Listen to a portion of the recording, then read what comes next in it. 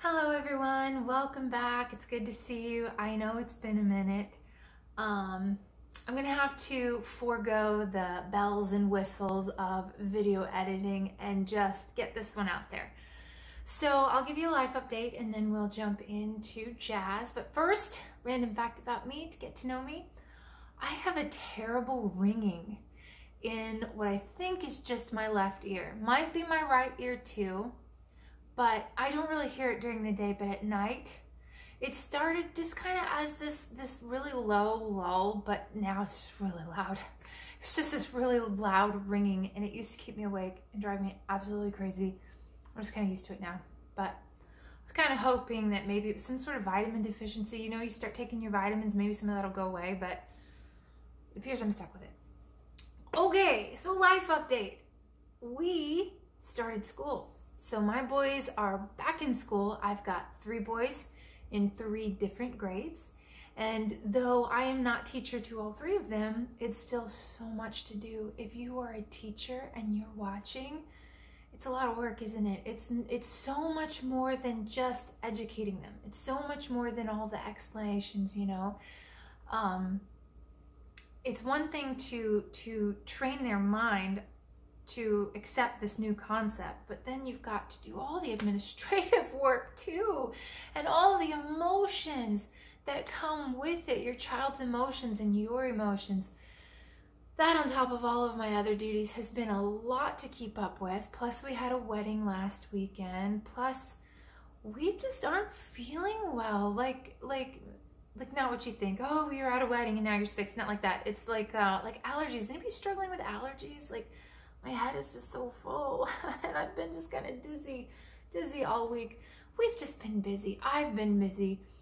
Um, and I'm afraid it's going to stay that way. So I hope that once I find my groove, you know, I get back into the swing of the school year and my boys adjust to coming out of summer and having this this schedule, this thing they're expected to do every single day that making my videos will be a little easier. It should, it should. I'm really, really hoping to not have to give it up. I, I was this close today thinking I just can't do this, but let's just keep going. All right, so that is the life update. We're gonna go um, into jazz. What I learned last week was we have, they gave me a melody and I was supposed to play that same melody beginning on beat one then I would move that same melody over to beat two, move that same melody over to beat three, move that same melody over to beat four. Now, that sounds simple. Doing that to a drum loop was actually quite challenging. so I would kind of um, just do it over and over again, finally get the hang of it. So then, to change it up a little bit, they would have you play that melody on beat one, measure one, measure two. You play the same melody, but move it over to beat two. Then you improv on measure three. And then on measure four, you play the same original melody, but you move it over to beat three. And that was so much to think about. You know, nobody likes the, the grunt work and the homework, you know, but it's so good for me.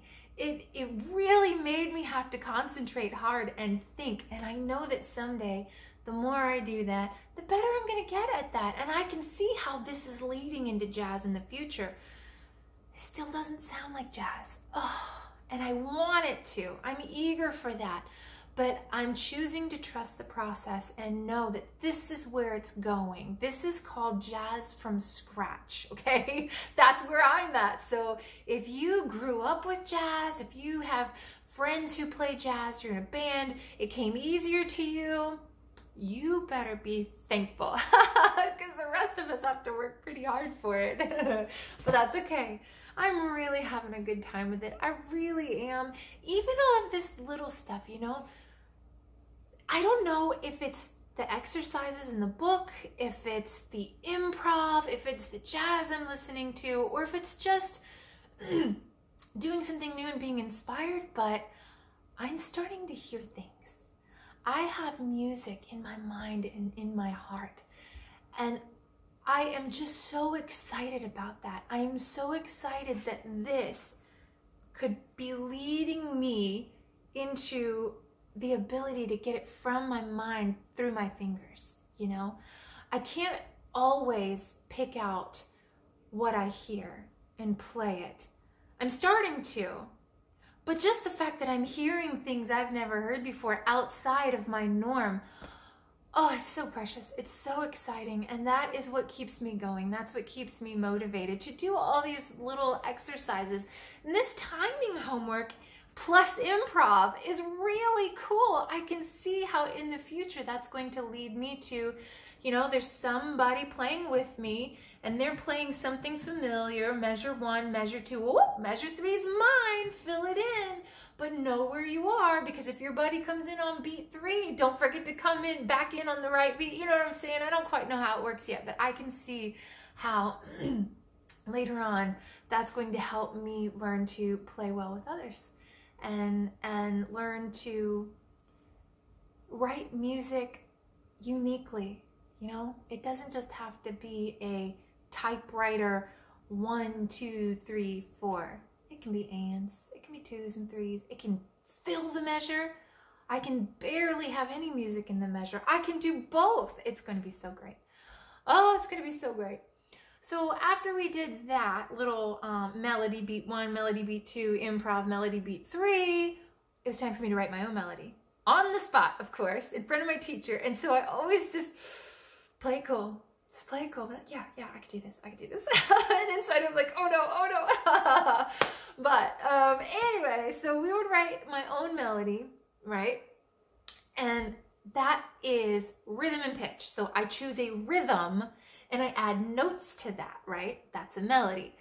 And then on the next measure, I was to use the exact same rhythm with different pitches, which is so fun. So fun. It's so fun to think about music from all angles, you know? It's like holding a crystal and and watching how the light shines through each and every facet.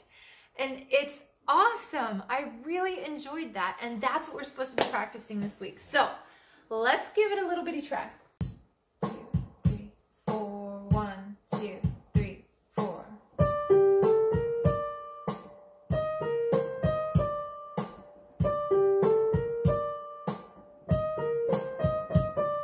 Measure two. I say measure, I mean beat two. Come on. More coffee, I guess.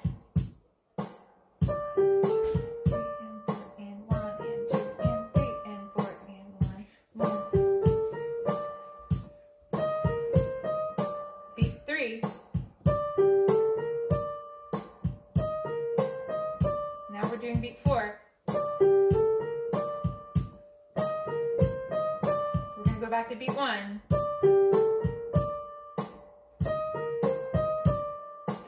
So there you go. Write a melody. Oh, oh, oh, oh, oh. there we go. Write a little melody.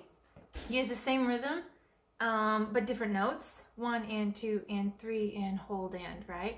And we added different notes to that. And then we moved it over one beat at a time. Let's see if we can do it again.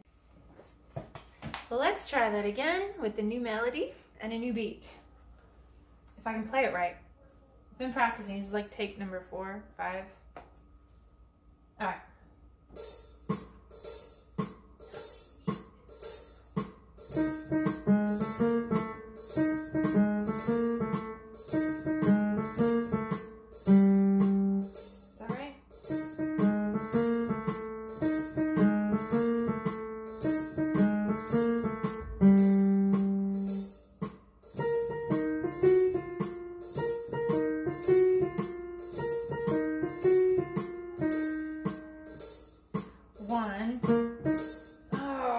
Instead of E flat. Ready? We're going on beat two.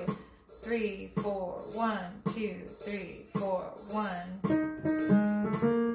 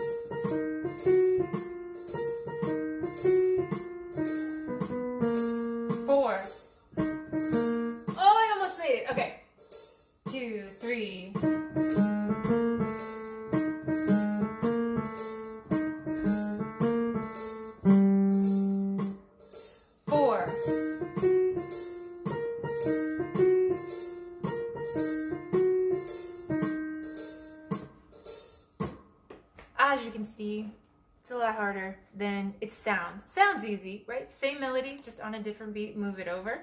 Um, but I was trying to play something a little bluesy. It took me forever to even write it. But um, yeah. So I'm to keep working on this. You keep working on your homework, and I'll see you next week. Thanks for joining me.